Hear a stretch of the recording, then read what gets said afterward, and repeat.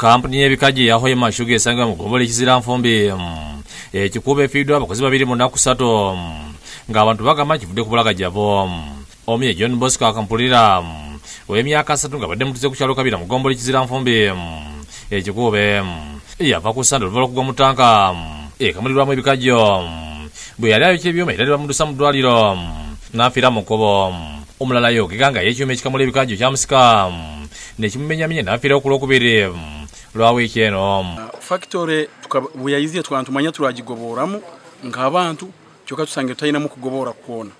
Abaana baitu bakubatomera. Omwana yayine purani yokwenda kwombeka hano hano ya yayabombese n'amatafari babalira kutera kiriya kifo.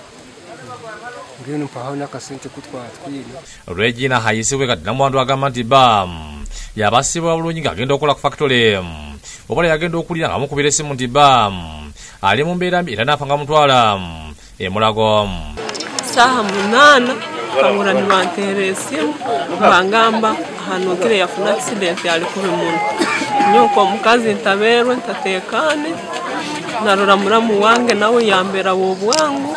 Abakulembeze mu kitundu basabye gavumenti enenyize lwaki abantu bangi bafa ku factory eno? Mu ngeri yategerekeka There are many incidents which have been happening within one Mashuga due to the carelessness of the company and the contractors. sadrak muwumuza silva nga nesente esi yokusatu ekizira nfumbi agamba nti abantu bazze bafa nga tewali kikolebwa factory kikulu muno nk'abekulembeze tukusaba.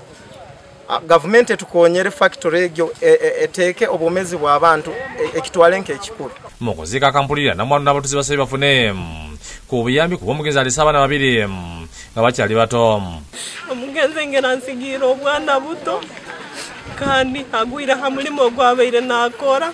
Mbaire ninsaba nyambe ampeyo obuyambi atandekerera arthur mpuuga akola ku nsonga z'abakozi ekikubi agambye nti kyanaku nnyo okufiira abantu babiri mu nnaku ssatu zokka kolera eryo but uh, we found out that the two people were working for the subcontractors one in the distillery and one from the boiler section that died so we are trying to carry out investigations to see who was at fault in this unfortunate incident.